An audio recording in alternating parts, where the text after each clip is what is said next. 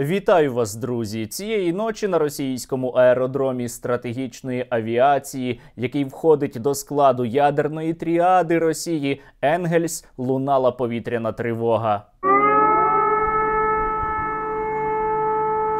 Росіяни люблять розповідати, що вони воюють проти НАТО, але чомусь знову у всьому звинуватили Україну. Украинские боевики ночью попытались атаковать военный аэродром Энгельс в Саратовской области, используя беспилотник. І ця тема для росіян дуже незручна. Оце тільки сказали один раз у новинах про інцидент, а потім на російських ток-шоу жодного слова взагалі не сказали про удар по аеродрому Енгельс. Натомість росіянам розказували, як погано живуть американці. Ну вот посмотрите, что сегодня произошло или чем сегодня живет Америка. Тому що очевидно, що так звана спецоперація усе ще йде за планом. Турбуватися не варто.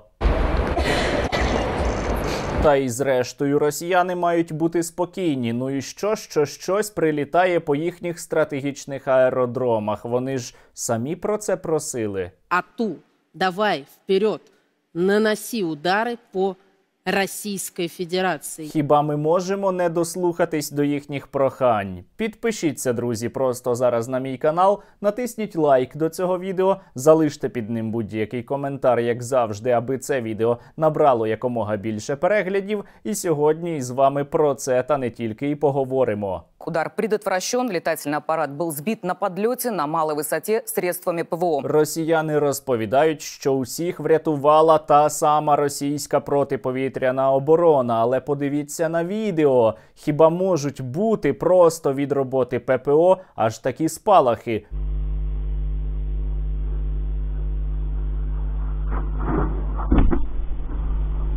Традиційно вам нагадую, друзі, що у мене у телеграм-каналі я оперативно публікую подібні відео і без жодного блюру підпишіться на нього, щоби бачити більше важливих новин. Тим паче, що у Ютубі, на жаль, такі відео без блюру показувати не можна. Как сообщили в военном ведомстве, из-за падения обломков беспилотника трое российских военнослужащих технического состава получили смертельные ранения. Чекайте, чекайте. Тобто відпрацювала ППО, наче як збили якийсь невідомий безпілотник. Але чому тоді троє росіян подохли? І що дуже цікаво, вони знову кажуть, що це був просто якийсь технічний склад, що це ні в якому разі не пілоти. Так само було і минулого разу. Трое российских военнослужащих технического состава, находившихся на аэродроме, получили смертельные ранения.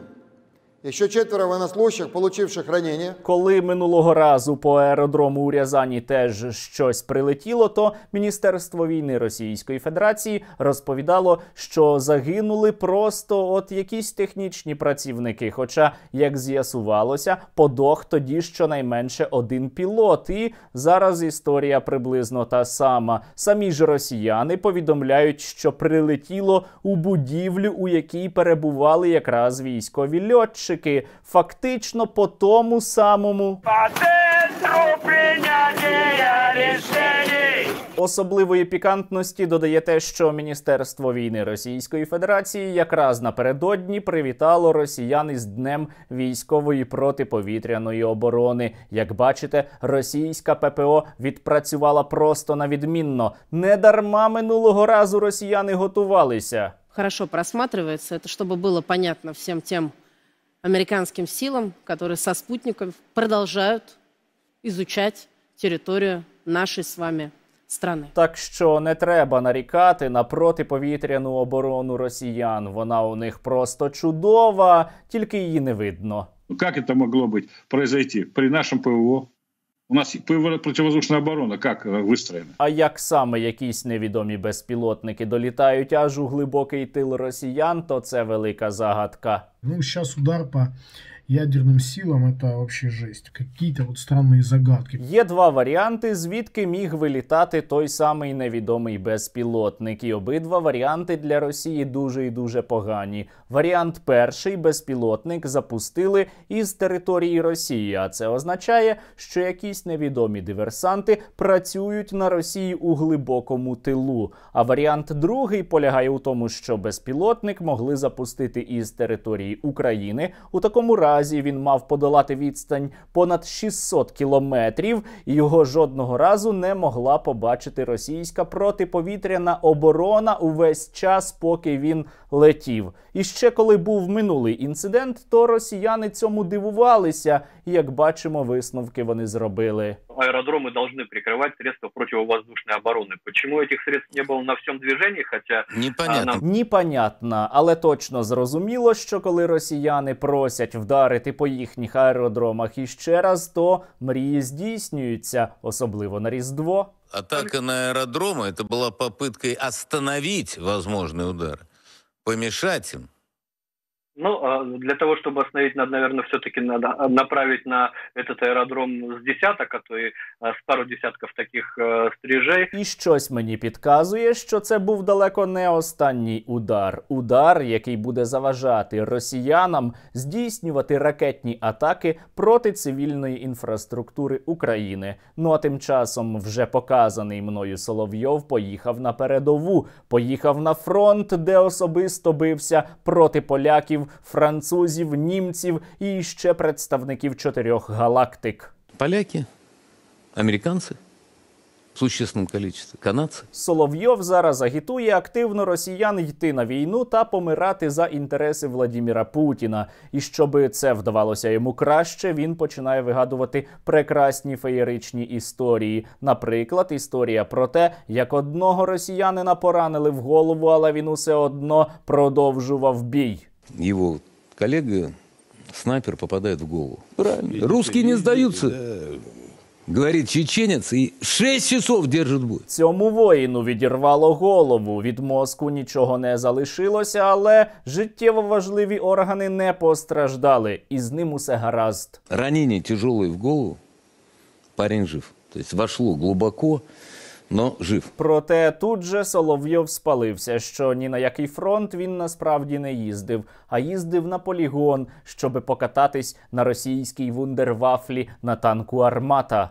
А «Армат» уже проходящий боевое слаживание. Я не скажу, где это было. Уникальная разработка российских специалистов, не имеющая аналогов за рубежом. Соловйов навіть показав, як таємничо, невідомо де ці два танки рухаються. Ну точніше, рухається один, а другий просто стоїть. Про російський танк Т-14 Армата ви, напевно, друзі, вже колись чули. Це новітня російська розробка, яка іще не прийнята на озброєння російської армії. І якось цей танк на репетиції параду просто заглох.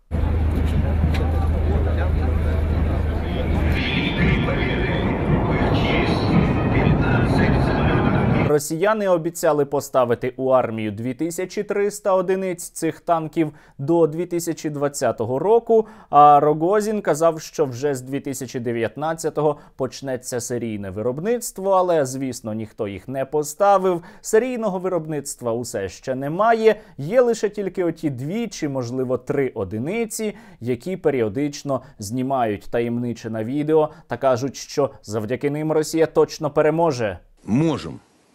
Оружейники красавцы. То есть вот реально можем. І навіть якщо росіяни усе ж таки відправлять ці 2-3 одиниці танків Т-14 Армата на фронт, то я впевнений, вони повторять долю іще трьох тисяч із гаком російських танків, які вже були знищені Збройними силами України. Або, можливо, у нас з'являться трофеї нові, як вже було із танками Т-90. Це, до речі, найновіші російські танки, які пішли у серійне виробництво. Дуже Т-90 прорив, проривався, проривався. Т-90, прямо с нашими рядом позициями. Та для російської пропаганди абсолютно немає жодного значення, що відбувається у реальності. Їм важливо росіянам показати, що у Росії є якась суперзброя, яка точно зможе змінити хід війни, щоби ці росіяни активніше підтримували війну або йшли на цю саму війну помирати за інтереси Владіміра Путіна. І у той самий час самі ж російські окупанти прямим текстом кажуть, що їм зараз бракує навіть артилерійських боєприпасів. Проблема в тому, що, конечно, Расходуются снаряды, расходуются стволы. У кого-то то есть, то нету, что его не хватает, что, он, иста- что запасы боекомплекта истощаются в Российской Федерации. 122 снарядов сейчас практически нет. А вже ж це не означає, що росіяни перестануть стріляти із артилерії. Ні, вони будуть це робити і надалі, але вже без такої інтенсивності, як було, скажімо, влітку, тому що боєприпаси треба десь діставати. Треба виробляти нові, треба просити у північної Кореї, наприклад, а потім знову Збройні сили України відправлять на склади із боєприпасами росіян черговий Хаймарс. Кстати, вот с химерсами встречались? С химерсами? С химерсами, да, этими, химерами. А щоби Збройні сили України працювали іще ефективніше, друзі, допомагайте їм, підтримуйте нашу армію і у тому числі фінансово, тому що саме Збройні сили України є тією силою, яка забезпечить Україні остаточну перемогу над тимчасовим непорозумінням під назвою Російська Федерація.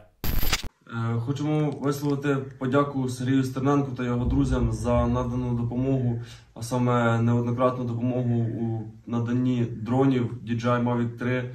Е, Подяку висловлюють бійці від е, першої танкової бригади з розвідроти. Ми вам безмежно вдячні. Ваш вклад є насправді неоціненим, і ми це дуже цінуємо. Тому ще раз велике дякуємо і веселих свят вам. Слава Україні! Героям слава!